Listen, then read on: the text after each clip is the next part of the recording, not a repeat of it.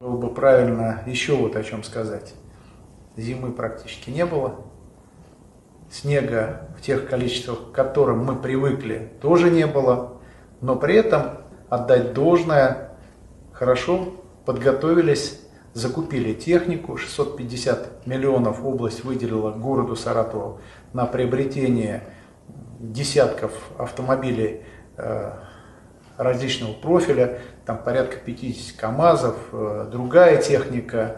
Одним словом, все в бюджете было предусмотрено для того, чтобы бороться со стихией, вывозить снег, и, э, конечно, на это предполагались определенные средства. Если в ближайший месяц э, не будет сильных осадков, то вот эта экономия в бюджете должна остаться.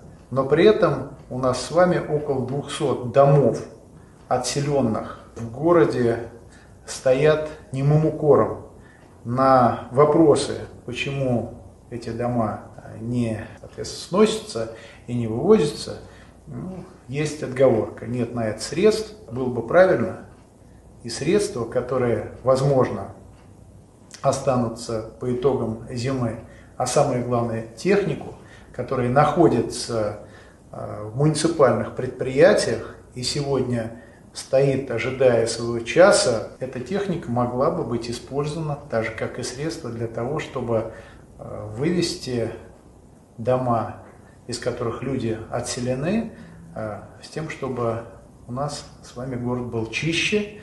Это как предложение моим коллегам, тем, кто работает в мэрии города,